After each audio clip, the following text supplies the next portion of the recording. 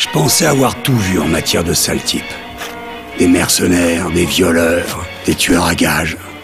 Qu'est-ce que t'as fait de ma sœur, espèce d'enfoiré Crache le morceau avant qu'on t'expose ta putain de sale gueule de connard de merde. Mais ceux-là, ils sont hors compétition. Ça te fait marrer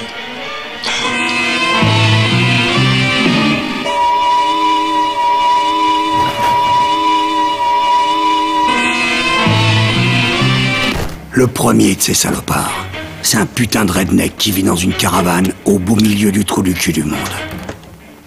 Ce mec, c'est un bouseux de première. Le genre qui baise en gardant son flingue et ses chaussettes. Un vrai pourri.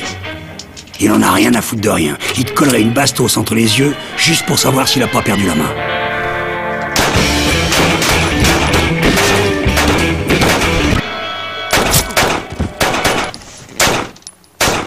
Pas sous-estimer le deuxième. Sous ses airs de guignol, c'est une vraie machine à tuer. Expert en Kung Fu Sanchu, il est aussi maître dans trois formes de Wing Chun. Je sais pas ce que ça veut dire, tout ça c'est du chinois pour moi, mais ce qu'il faut retenir, c'est que si cette teigne vous a dans le collimateur, il lâchera rien. Il ira jusqu'au bout.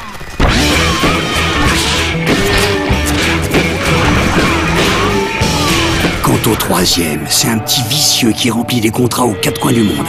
Il se fond dans le décor, tape le carton et s'évanouit dans la nature avant même que sa cible ait pu toucher le sol. C'est un professionnel froid et méthodique. Il bute n'importe qui, n'importe où, pour n'importe quelle raison du moment que t'alignes les billets. Ce petit enfoiré, c'est le plus dangereux des trois, parce que personne ne le voit venir.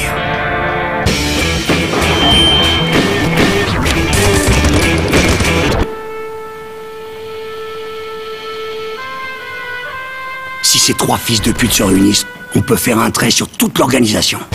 Fresh Flesh and Out Chrome, Massico et Mort au vif seront les trois titres présentés dans ce tout premier numéro de Doggy Bags. En février en librairie. On peut encore tout arrêter Putain, crevet